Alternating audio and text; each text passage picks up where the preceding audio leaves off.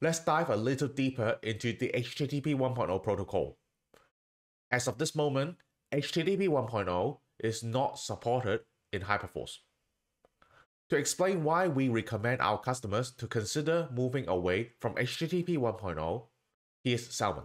Hi, my name is Salman, and today I'm going to talk about HTTP 1.0 and why you should be considering moving away from it. For those who don't know, HTTP 1.0 was introduced over 25 years ago, and it was subsequently enhanced and refreshed with a newer version, version 1.1, just about a year later.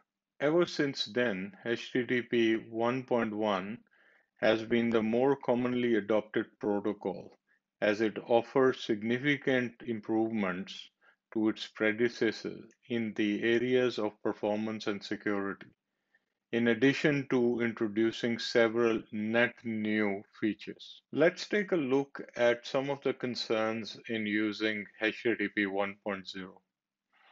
It actually uses a basic security authentication pattern where it exchanges login credentials in an unencrypted manner, which is often prone to snooping and other security violations. Additionally, it creates a new TCP connection for every request, which significantly adds processing overhead and increases the latency for in-flight transactions.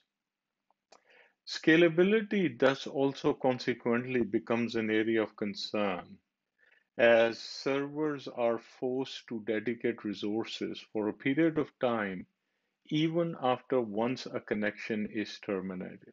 Now, customers who have been building API based integrations with the Salesforce platform, say in the last decade or so, will most likely have been using HTTP 1.1 or higher versions. However, we still do see a very small number of clients on HTTP 1.0, and it may be due to uh, reasons uh, of their legacy integration middleware or their application clients or systems not being refreshed in a very long time. There are a couple of basic ways uh, where you could figure out if uh, your applications are using HTTP 1.0 to undertake subsequent remediation actions. One such option is to engage your IT and network service management teams who can utilize readily available network monitoring tools to verify the version of HTTP for the transactions generated by your application client. In other cases where perhaps a middleware product has been used to build the integrations with Salesforce, uh, be sure to check the default configuration settings of that product, uh, which may sometimes default to using HTTP 1.0.